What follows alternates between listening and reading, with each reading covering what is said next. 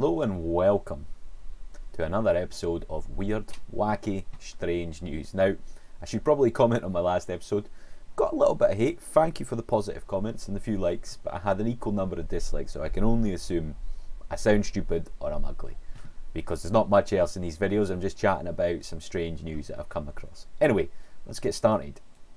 I can see my screen shaking a little bit there's some gardening work getting done outside, and it's really, luckily it's not loud, but it's really shaking the, well, my house basically, which is weird.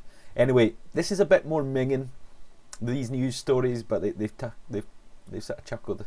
They've made me chuckle. They've sort of chuckled. They've chuckled, yes, who? The inactive, inanimate news stories have chuckled. Sure. Anyway, I'm talking rubbish. Let's get to it.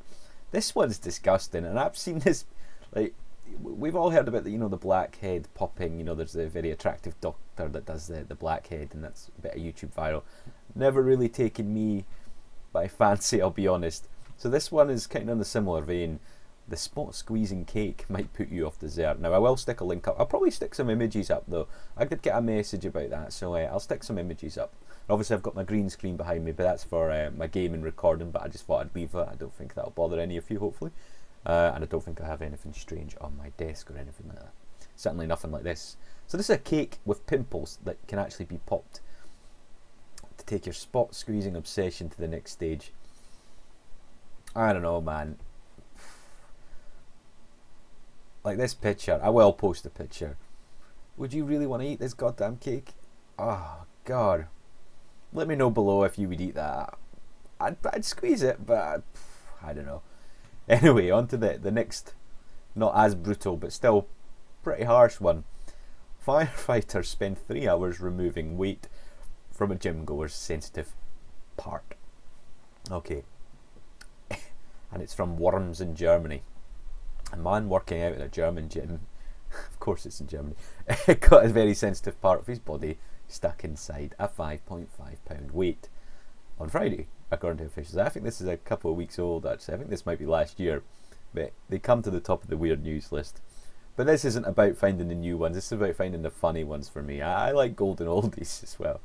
Yeah, September last year. Firefighters spent three hours using a grinder. Oh, Jesus Christ. And a vibrating saw to free what was widely reported to have been the man's penis from the centre of the disc. I just don't get it. He was in the middle of a gym. And I mean, I've got weights. You have to be pretty accurate to fit. I mean, what was he doing? I mean, he was clearly trying to have sex or masturbate with this gym equipment. Why?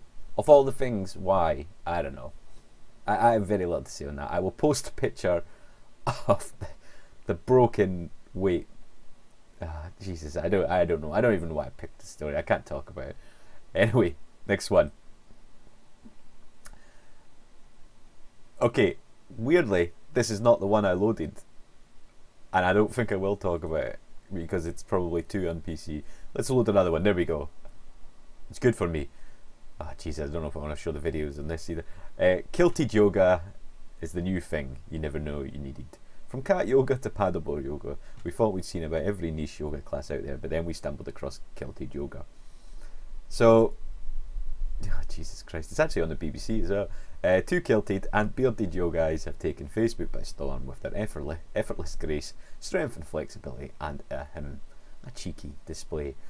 So it's clearly a bunch of guys getting their arses out uh, doing yoga uh, in kilts.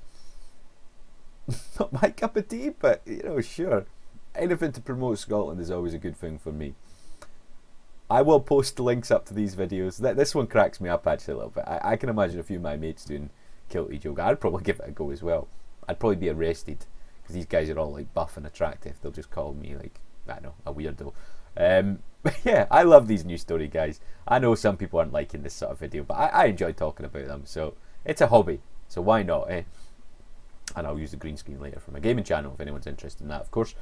Anyway, thanks for joining. I'm probably going to post a couple other videos in the next couple of days, just just a bit random stuff, really. Uh, this is very much a hobby channel for me. It's not my, my serious channel, however, I really love interacting with you guys, so let me know. Anyway, folks, catch you and have a nice one.